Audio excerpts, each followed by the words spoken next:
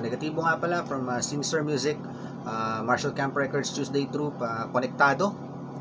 Ayan, at uh, syempre big shoutout sa Fubu Manila, sa Whipcaps, uh, sa VLC, ayan, sa, sa Daddy's Vape Shop, and shoutouts din syempre sa Temple Street, Tagline Hood. Ayan, so, uh, ito ang behind bars. Ayan, ito na naman tayo. So, um, ito yung uh, official uh, response uh, dun sa diss track na nilabas ni uh, Kid Rabis na pinamagatang uh, Sige Iyak Part 2. So ito yung uh, response ng mob. So maalala natin na si uh, Kid Rabis ang mag-isang uh, bumanat sa diss track na Sige Iyak Part 2. So ito naman uh, sa song na pinamagatang uh, Iho de Puta uh, ni uh, Kial. Mag-isa rin siyang uh, dumisbak dito. And uh, nakakatuwa na iba talaga yung uh, palitan nila ng mga bara ngayon. At uh, ang bilis nilang gumawa ng response. So kahapon lang nilabas yung Sige Iyak Part 2 ito may uh, response na kagad ang mob. So uh, inulit ko uh, ito ay uh, song review saka reaction uh, depende uh, na nakadepende sa aking opinion So, hindi ko sinasabi to in general na pangkalahatan. Ito ay uh, pawang hango sa aking uh, personal na opinion. So, ito, pahinga natin. Uh, Iho de puta ni Kial.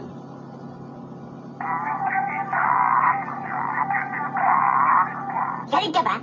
Hindi. So, ayun, may maririnig natin. Uh, ginamit na skit, skit yung uh, chorus or yung hook ng uh, Sige Iyak Part 2 doon. Tapos uh, ito, may uh, skit pa siya dito. Pakinggan natin. Tatanong lang. Kanina pa ako nailang sa'yo, sigaw ka sigaw eh. Ikaw na nakaperwisyo, ikaw pa galit ha? So medyo dark yung ambience ng beat na ginamit. Intro pa lang maririnig na.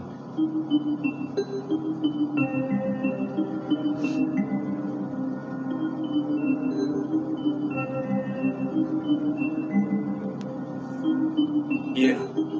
Sa panahon na ang sarap balikan ng dati. Yun ay hindi na para manatilit. Mapapumasabi lang na una sa marami. Di baling mapuro lang ng tare Basta luma ang dating akala pwede na maghari. Ay may biglang alingaw At masangsang na alingasaw. Ang bungad alam mo ng araw Kahit ang parte nakiagaw At nakihati lang naman sa kada inani ng mga Urig na kasali sa samahang Mapangis pag-aso ang imahe. May black Ayun, so uh, sinabi ron uh, sa part na yun na sa panahon na sarap balikan na uh, yung dati uh, tama ba? Uh, mapako, masabi na di baling mapurulan ng tare. Something na akala mo pwedeng maghari. So doon pa lang makikita mo na agad yung uh, trademark na multi-format ni uh, Kial. Uh, ang uh, tingin ko sa sinasabi niya rito is uh, masabi lang na sila daw uh, yung nauna, uh, di baling mapurol daw yung mga banat. Ayun. So yun yung parang uh, outlook ko sa sinabing yun. Uh, tuloy natin. Ang nilapan ng pangalawa Na sinakmal naman ng may babalang palimos galang Hanggang na-stuck sa pang grade 1 ng sulat Imbis pang kolehiyo, lakas ng kwelyo Ng nerd at henyo, kakabalagpag So yung sasabi, uh, yung sulat daw uh, nung kabilang panig is uh, na-stuck daw sa grade 1 saka parang mga bully daw na nangingwelyo kasi alam natin 'di ba sa sa eskwelahan madalas uh, binubuli nung mga madalas binubuli yung mga henyo. Tapos madalas ang ginagawa ng mga bully sa ayun nangingwelyo ng uh, uniforme or ng damit Nagsibaluktot ang pananaw di na napansin Na magkakasabay na tayo di lang magkasing galaw Magkaiba lang ng tanim tapos bigla kayong bitaw Kami nagpatuloy ano pang kinukudan nyo Mga islo palitaw Mga nagangin Gusto sila sila lang ang mayari Uy, makikita natin na iba atake ni Kiel dito sa hook ha. So, uh, nag-melody siya rito. And uh, maganda yung pagkaka-blending. Sila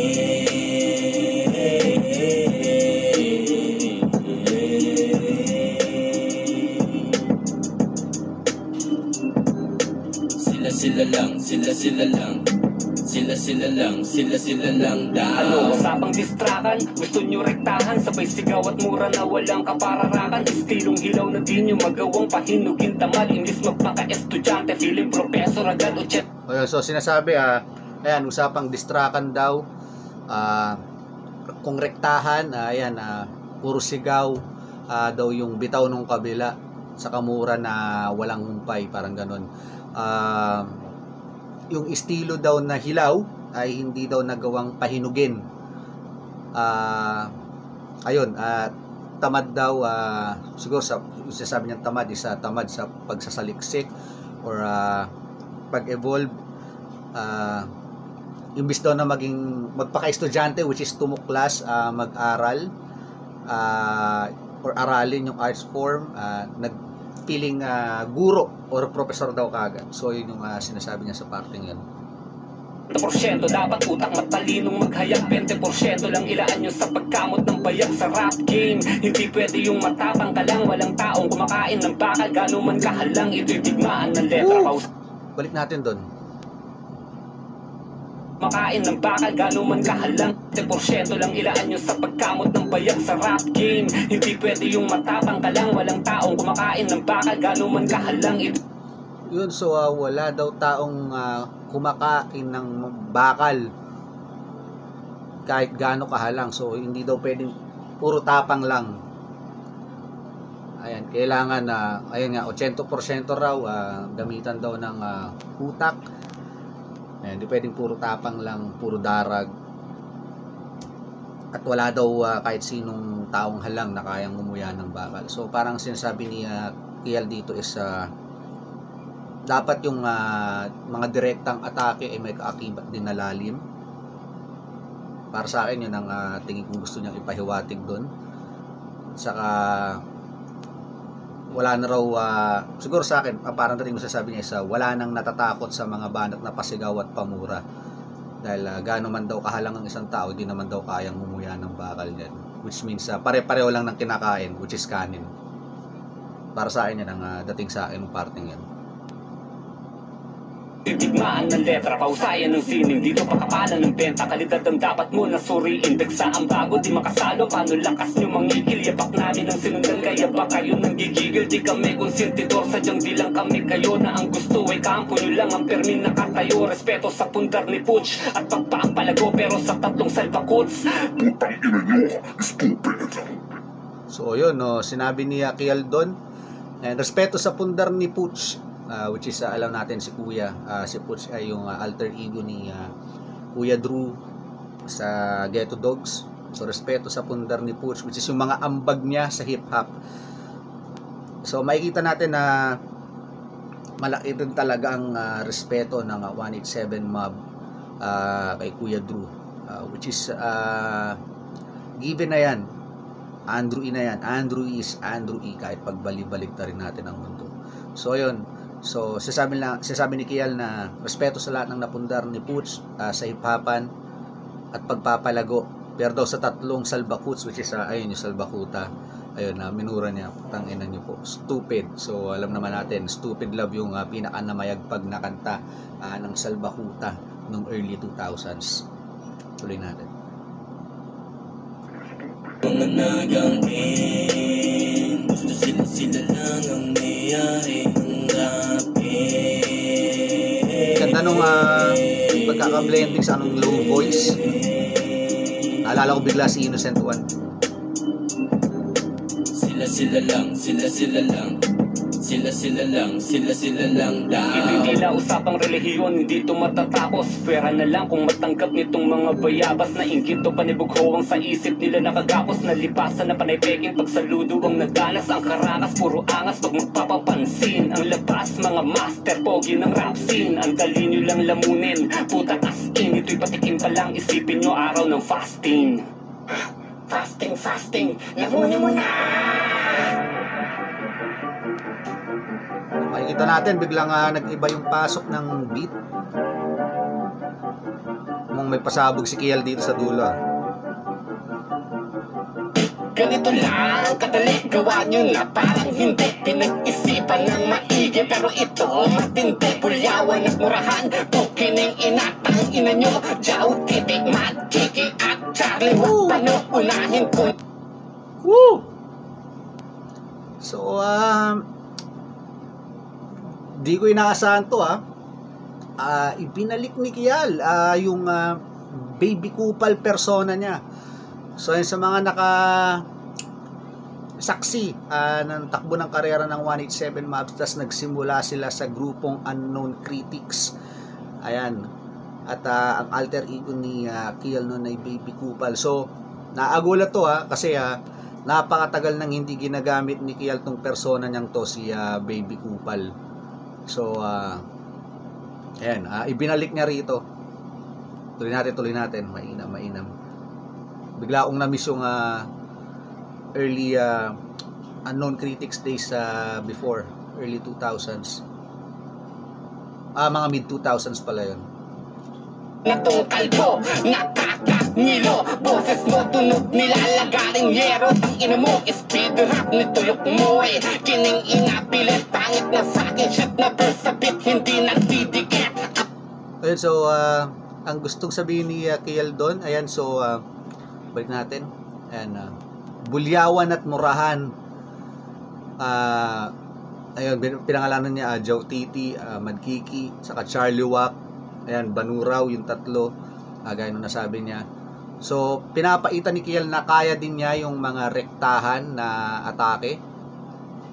And, ah, unahin daw yung kalbo. So, alam natin si ah, Madkila yon Yung ah, boses daw is ah, parang nilalagaring yero. And ah, yung speed drop daw ni ah, Madkila is ah, pilit. Ayun. So, parang an- ano raw, ah, hindi daw uh, nagja-jibe sa beat yung ah, double time ni ah, Madkila pag nagdo-double time siya. So, yun yung pinupuno niya. ah, wala daw sa metro at pilit daw yung tongue twist ni ah, Madkila. So, tuloy natin. Ilo, boses mo tunog nilalagaring yero Ang ina mo, speed rap ni tuyok mo eh Kining inapilit, pangit na sakin Shit na verse sa beat, hindi nagdidikit Ang barako tignan, kengkoy Pag nagsalita, ang sasagwa Di naman na mukha Ang lakas pang manita Kung may Mr. Clean, ikaw Mr. Dirting Baluga Salamat, di nakakalat lahi mo Kasi nga baog ka O na Okay, so ah nakakamiss lang yung mga ganong punchline ni Kiel dati nung ano early 187 days yung mga ah, baby kupal na brutal at the same time may na may mga kengkoy na bana sa dulo. Ayun gaya nung sabi niya rito ah, kung may Mr. Clean daw, ah, meron daw dirting baluga. Ayun tapos ah salamat daw di kakalat yung lahi mo kasi ah, baog ka. So ito medyo ah, sumundot ng ah, real talk dito si ah, Kial. So, hindi lang po kasi sinabing real talk is ah, real talk talaga. Ah, it depends yan sa perception ng tao. So, ah, kung napani kung na-convince ka na totoo yun, well, that's real talk for you. So, malay natin kung nga totoo nga to sabi ni Kiel na baog daw si Madkila kasi wala rin naman akong alam na wala naman akong alam sa personal na buhay ni ah, Madkila. Pero dito ginamit niya ang angulo to na salamat ah, di kakalat lahi mo kasi baog ka. So naka-double meaning pa rin. Tuloy natin. Aw, Mr. Berting Baluga. Salamat di nakakalat. Lahi mo kasi nga baog ka. O ito namang si Sasquatch. Pakulang sa buntok mukhang suki na ng bugbog. Kulang pa din sa suntok. Ang galing mag-bars May patsampurado at chop suey Tapos yung linya sa lokal Pinagtatanggol. Mga baduy Ano aminado? Oo puta pag nag-rap Alam na. Ikaw nga siguro Yung laman ng bidyong tap na Tap OG Walang katatat mo Tangina mo Wala nang iba Wala nang iba Paliwanag patulong Gis katanga May out Okay, so ayun. So ah, dito sa parting to si ah, Charlie Mack ah, naman yung ah, pinapasaringan ni ah, Kial. Ah, tinawag niyang ah, Sasquatch. Ah, si, Sas- si Sasquatch ah, kung ah, nanonood kayo or pami- familiar kayo sa Marvel Comics, siya yung kalaban ni ah, Hulk or ni Hulk na mabuhok na malakas din. Yan, si Sasquatch. Ah, ayun, mukha daw bakulaw sa bundok. Um, as in narinig natin dito yung ah, yung champurado ah, angle saka yung chop suey. Ah, kasi yung ah, isang song ni ah, Charlie Mack na pinamagatang Wapakels ayan may nabanggit siya rong ah, champurado at chop suey. Ayun so ah, si Ojowan lang daw ang katapat ni ah, Charlie Mack ah, in terms of rap skills ah, sa pagra-rap. So wala na raw pali-paliwanag. Tulongis daw si Charlie Mack. So yun yung gustong iparating ah, ni Kial sa parting to. Tuloy natin. What? Meron na masa ang nagbigay. Tapos yung verse lang ni Mandy ang nagpala. Kaya nag-ingay gawa ulit kayong gano'n Tignan natin kung papatok pa din ngayon Mga bobong rapper na mga dami ang kapon At sa wakas, ikaw na Okay, so uh, doon sinasabi ni uh, Kial na yung verse lang daw ni Mandy uh, ang nagbigay ng ingay sa kantang Stupid Love. Uh, si Mandy siya si uh, Nasty Mac. Uh, yun siya yung third verse sa Stupid Love. Uh, yung iba na may misconcept, uh, si uh, Nasty Mac hindi siya member ng Salbakuta. Uh, Donggalo Records din siya, pero ang grupong kinabibilangan niya ay Black Pro or Black Propaganda. Ayun, na bali ang uh, tamang uh, term dun is uh, Stupid Love uh, Salbakuta featuring Nasty Mac kasi uh, si Nasty Mac ay hindi member ng Salbakuta kundi member ng Black Pro uh, which is under Donggalo rin. So uh, yun yung sinasabi ni uh, Kial uh, yung verse lang daw ni Nasty Mac ang nagbigay buhay dun sa song. And uh, ayun daw, ah, yung uh, Donggalo Records daw, uh, eto sa rap game na nagaganap, puro dami account daw ah, yung ah, kampon or yung lagi mga nagko-comment ah, either sa YouTube or sa Facebook. Ayan. Pasensya lang yung aso ko. Ah, may ingay. Pinapakain sa labas. Ayan. May ghetto dogs din ako dito sa bahay. So, tuloy natin. Tignan natin kung papatok pa din ngayon Mga bobong rapper na mga dami ang kampon At sa wakas, ikaw na Barney everyone, it's Barney the Dinosaur! Paso-aso ka pa, eh dinosaur Kalabayot, sige iyak, putayak May pato pa ang hintot May nagpasa sa akin, tangina Dapat di ko na pinindot. Nakakadismaya, putik Akala ko disking yan. Masipag na pala magbalik Tapos tayo ang laman. O ito, isang araw lang sagot agad. On the spot, total mga tira mo Sablay, nakakatamad Tama na muna tong sapat Di na para isagad Ganito lang naman ang naaarap niyang paglalahad Walang su Okay, so yun, uh, sinasabi ni uh, Kiel doon, uh, ayun, yung tinutukoy dito is uh, si Joe Tina, ayun, na yung dinosaur daw, yung Barney. Uh, nagpapakaaso daw, pero dinosaur naman daw talaga. Uh, ayun, binanggit yung sige iyak, uh, may part 2 pa daw, ginawa pa raw ng part 2. Um, ayun daw, so uh, nakakadismaya daw yung uh, diss track, uh, ba't daw tinaguri ang uh, diss king, masipag lang naman daw bumalik, pero tae yung laman. Ibig sabihin daw ah, wala raw ah, wala raw sense or parang ah, sa tae na ikinukumpara ah, yung value ah, nung balik daw ni ah, Joti so yun yung inaano ni uh, Kiel doon tapos sinabi rin niya oh, daw isang araw lang daw ah, sagot daw kagad on the spot. So malamang pagkarinig niya ginawa niya kagad to. Pagkarinig niya sa sa Sige Iyak Part 2 kasi nga naman isang araw ah, yung palugit lang. Tapos ah, eto nakalagay dito tama na muna tong sapat. Hindi na raw para isagad. Ganito, ganito lang naman ang naarok niyong paglalahad. So parang sinasabi niya ron hindi na raw niya kailangang itodo yung lyricismo kasi hanggang ganito lang naman daw ah, yung naaabot ah, ng comprehension or ah, ng kamalayan or ng ah, way of thinking ah, nung kabilang kampo at nung mga supporters. Siguro, parang sa akin yun ang dating na sinasabi ni Kiel dito. Tuloy natin. Musunod sa yakat ninyong tatlo Kasi edad nyo pa atras Utak nyo paliit Walang naghahangad Si Smaglas pa sinabihang buligado Kayo yun panay birang bahagi. Sa matiwasay na panahon Puro punas. Sa aming itsura Ipinagkukumpara. Ang gwapo kasi ni Joe Parang hinlalaki may mukha Puta, hindi pa ako tapos. Bakit bigla kang bumait? Biglang pinuri si Paos. Meron ka bang sakit? Hugas kamay matapos. Nung Ang dungis ng utak malupit. Imbis pangulatin ng mga tao Lalo niyang pinapapikit. Sabay asta Nakala mo ay kapita Bitagan kontrabida Sa hip-hopan ngayon ay bita-bitahan Kung meron ka pang naloloko Mas marami ang hindi. Dati yung kupal sa alias Ikaw kupal ka sa ugali. Bigat ng sige kahol Sinubukan tumpasan Nagtanggal ng pabigat Mas lalo lang gumaan. So ayun, na mas lalo lang gumaan. Ah, yung bigat daw ng Sige Kahol, sinubukan daw tapatan ah, ni Joti. Nagtanggal daw ng pabigat. So sig- siguro para sinasabi niya rito, pabigat lang daw yung dalawa, si uh, Nasty Mac sa si, ah, si, Char- si Nasty Mac, si Charlie Mac sa si ah, Madkila. Ayan, ah, kaya daw ah, hindi sinama ni Joti dahil parang pabigat lang daw. Pero imbis daw na mas bumigat yung balik, eh mas lalo daw gumaan. So yun yung parang gustong iparating ni Kiel dito. Hindi sinama yung dalawang unga Sinolo niya na lang. Salbatuta nga diba? Masyado kang mapanlamang Ilang taong nag-aambak Ang mabago nyo hamakin. Bakit di nyo kilalanin? At subukang salain. Kahit gano'n kapangit pa Ang tingin mo sa akin Sa sulatan Hindi ka pa din uubra.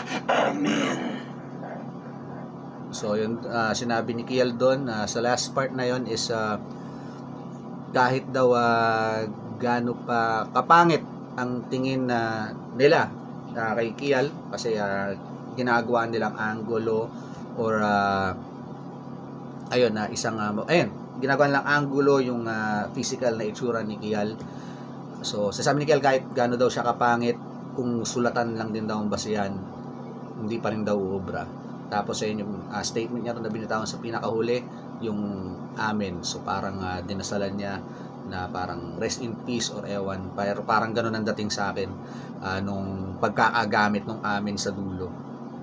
So, natin kung meron pa to nakasunod. Ayun, so wala na. So doon niya tinapos sa statement na amen. Um, nakakatuwa. Um, hindi ko inasang ibabalik niya si ah, yung persona ng ah, Baby Kupal or yung persona ni Baby Kupal Ah, so naagulat yon so merong sorpresa ah, na dating or ah, yung dating sa akin na sorpresa ako doon um, nakita natin na dalawang ah, klase ng atake ang pinaita ni Kial ah, sa song na to. Una is ah, lyricismo. Ayan, na may mga halong ah, punches or suntok, punchlines. Nandun pa rin yung ah, technicalities niya, yung ah, multi-format. And then sa second part nung song, ah, ginamit niya yung ah, forte na ginagamit din ng Donggalo Records which is yung mga direktang ah, bara, mga direktang suntok, patama. Kumbaga wala nang setup setup basta sapak kagad. So yun yung ah, ginamit naman ni Kial sa second part nung ah, song niya kung saan nagpalit ng beat. Ah, sa sa song ni uh, Joti ah, kahapon or ni Kid Rabis which is yung Sige Iyak, eh, yung sasabi kong ah, plus factor sa akin doon na kahit apat ah, si Kial, si Smaglas, si Mike Cosa, at si Abandon uh, dumisback mag-isa si ah, Joti. So para pinapaitan ni Joti na kayong apat, ako lang ang katumbas nyo. Pero ito agad na tumalima si Kial at mag-isa lang din siyang bumalik. At ang pinaita naman ni Kiel dito is ah, parang ang dating sa akin is since ginawa niya yung trademark ng ah, Ghetto Dogs ah, na atake para pinapaitan niya na yung kaya nila ay kayang gawin ni Kial pero yung parang kayang gawin ni Kial hindi kayang gawin ng kabila. So para sa akin parang yun yung dating or minemensahe ni Kial. So ah, para sa akin ah mainit ah, or nagbabaga itong uh, disc na to. So I'm pretty sure babalik din ng ah, matinding diss track ah, ang Donggalo Records. Di natin alam kung sino ang ah, susunod na di-disback sa kanila. Pero sana ayon marinig din natin na si Charlie Mac saka si ah, Madkila. Ah, kasi ah, salbakuta ang ah, pinupuntirya ng mob guide din na nasabi nila sa mga post nila. So magandang marinig din natin yung ah, response ni ah, Charlie Mac sa kaniya Madkila. Pero I'm sure ah, babalik din ng matindi ah, si Joti. Knowing Joti, talagang ah, pinangahawakan niya yung ah, disking. Ayan. So, alam din natin na si Joti ano yan eh, ah, pagdating sa mga diss tracks eh talagang hindi rin papatalo yan. Talagang uh, bebueltahan ka rin din bebueltahan ka rin yan ng isang ah, matinding sapak sa panga ng mga bara. So, alam natin yan. Given yan. Well, ah, expected na yan na babalik si Joti ng ah, mas matindi pa kaysa sa binitaw niya sa Sige Iyak Part 2. Ayan. So, dito sa song na to, ah, I'll rank this song 5 mics dahil bukod do sa technicalities na pinakita ni Kial, eh, ayun nga, ah, sinorpresa niya ako, ako yung na, nasurpresa na ibinalik niya ah, yung ah, persona ni ah, Baby Kupal nung Unknown Critics days dati ng ah, 187. So, that was mid 2000s. So, medyo nakakatuwa lang kasi yung time ng Unknown Critics yun din yung time na nag-uumpisa akong mag-rap nun. Ah, so, parang bigla ako nabalik sa mga panahon na yun. So, uh, I'll give this song 5 mics. Uh, let's expect uh, nababalik ang Tunggalo Records ng mas matinding banat. Ayan, uh, magre-rebat yan. Lalo na si uh, Joti, knowing Joti. Uh, pagdating sa diss tracks, isa sa mga alas yan. So, yun. Uh, guys, sasabi ko, uh, hindi in general tong sinasabi ko, this is my own uh, perspective. Ito yung sariling uh, opinion ko or outlook or insight ko. Uh, and hinihimay-himay ko lang yung uh, sinasabi ng uh, song. Depende sa pagkakaintindi ko. So ayun. So uh, ito nga pala ulit ang behind bars. Ito nga pala ulit si negatibo. Respeto, kapayapaan at pagmamahal para sa lahat. Peace and a motherfucking